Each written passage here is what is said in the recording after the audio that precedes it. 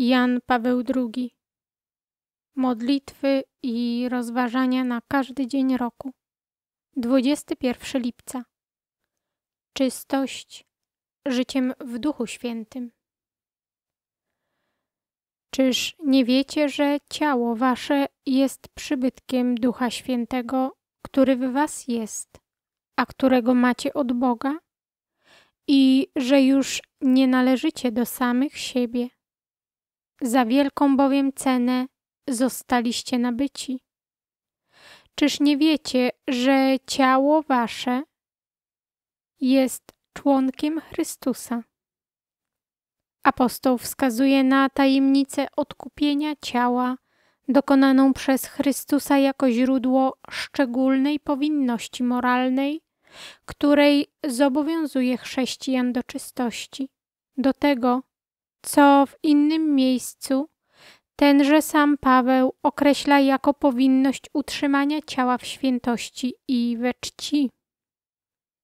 Chociaż utrzymanie ciała w świętości i we czci kształtuje się na drodze powstrzymania porządliwej namiętności i droga taka jest nieodzowna, to przecież owocuje ono zawsze w głębszym doświadczeniu tej miłości, która w całą istotę człowieka, a więc także w jego ciało, wpisana jest od początku, wedle obrazu i podobieństwa samego Boga.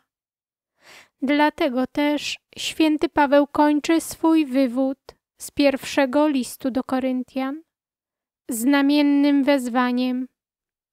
Chwalcie więc Boga w waszym ciele.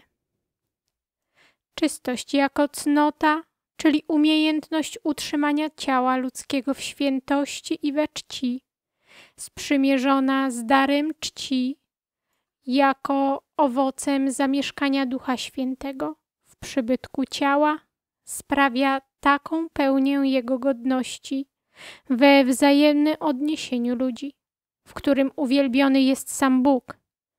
Czystość jest chwałą ciała ludzkiego, przed Bogiem. Jest chwałą Boga w tym ciele człowieka, przez które ujawnia się jego męskość i kobiecość. Z niej też płynie owo szczególne piękno, które przenika w każdą sferę wzajemnego obcowania ludzi, pozwalając wyrazić w nim prostotę i głębię, serdeczność i niepowtarzalny autentyzm osobowego zawierzenia.